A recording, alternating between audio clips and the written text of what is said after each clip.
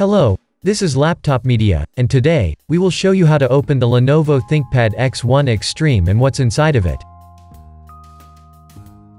To access this laptop's internals, you need to undo a total of 7 captive Phillips head screws. Then, pry the bottom panel starting from the back, and lift it away from the chassis. Please remember, it would be of great help to us if you just hit the like button and subscribe to our channel. That would motivate us to make even more and better videos for you.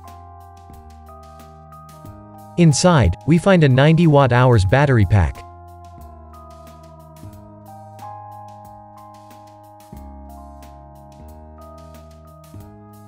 The first thing you need to do is to unplug the connector from the motherboard.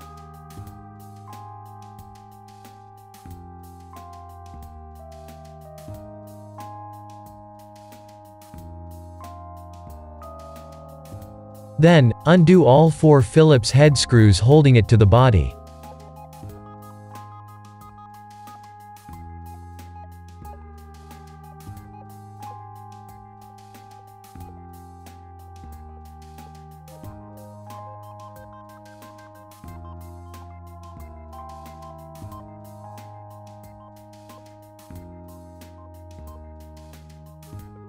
After that, carefully unlatch the speaker cables from the battery. We found it easier if you gently lift one of the runners, which loosens the tension of the cables.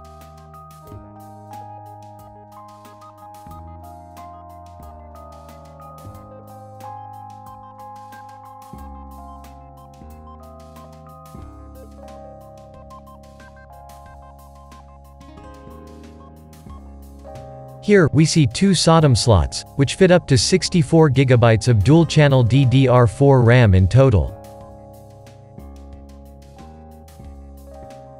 Storage-wise, you get two M.2 PCIe X4 slots, one of which supports Gen 4 drives.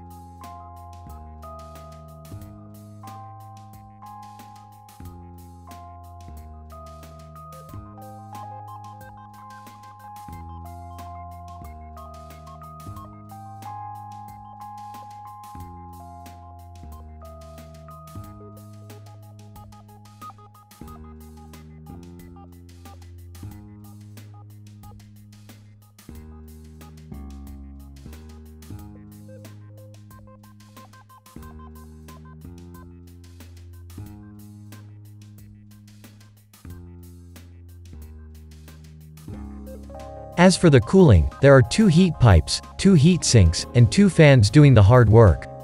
Additionally, we see two heat spreaders, which cool the VRMs and the graphics memory.